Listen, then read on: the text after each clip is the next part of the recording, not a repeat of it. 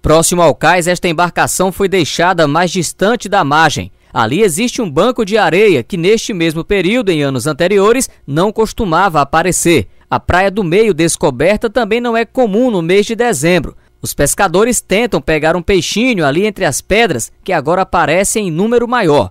Para navegar é necessário experiência, e o tamanho do banco de areia na Praia do Cacau também chama a atenção e representa perigo. É um fenômeno até para a gente dizer que é, é algo extraordinário.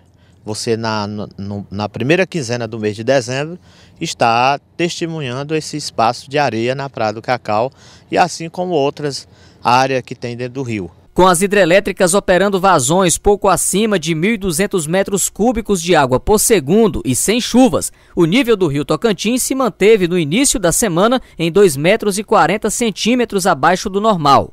Segundo a Defesa Civil, o nível do rio Tocantins registrado esta semana é um dos mais baixos para o mês de dezembro. Isso porque as chuvas aguardadas para a região desde a segunda quinzena de outubro ainda não caíram. É preocupante. Em razão do sistema da situação climática, a falta de chuva, tanto aqui na região tocantina como no próprio estado do Tocantins e na cabeceira do rio Tocantins.